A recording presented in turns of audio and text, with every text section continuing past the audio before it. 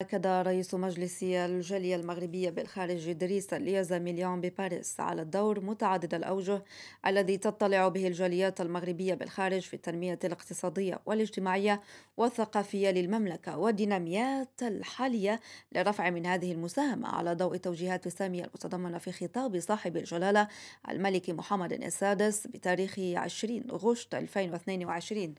وأشار السيد اليزمي خلال مداخلته في ندوة نظمتها بلدية باريس حول موضوع الجاليات دبلوماسية المدينة التحديات والفرص بمسرح المدينة إلى الإطار الدستوري الذي تندرج فيه هذه السياسات خاصة الفصل السادس عشر الذي يشجع أو الذي يشجع مساهمة المغاربة عبر العالم على تمتين أواصر الصداقة والتعاون مع حكومات ومجتمعات البلدان المقيمين بها أو التي يعتبرون أو يعتبرون من مواطنيها وفقا لما ذكره بلاغ لمجلس الجالية المغربية بالخارج.